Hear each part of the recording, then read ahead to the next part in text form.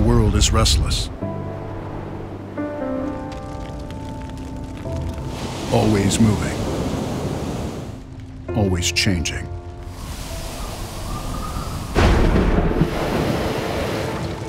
And with little warning, the devastation of natural disaster and humanitarian crisis can happen anywhere, striking at the very hearts of our communities.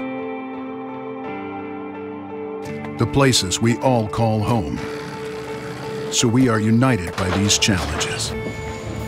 It all started with a mission to Haiti 10 years ago. Let's get the supplies offloaded fast. Let's do this quickly. Eight strong, we crossed the Rubicon and never looked back, cementing our commitment to a new mission and a greater purpose. Fueled by those inspired to support our mission, and drawing from the ranks of over 20 million military veterans and first responders, our team has grown to over 100,000 volunteers. We have the skills and leadership to meet any challenge. We've hung up our uniforms, but we're still built to serve. Preparing, training, innovating, and ready to shine on the darkest day.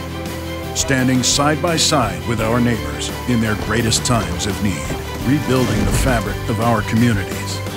We dare to bring hope when hope seems lost. When disaster strikes, Team Rubicon strikes back. This is the commitment made. Then, now, and always. We are Team Rubicon. We are built to serve.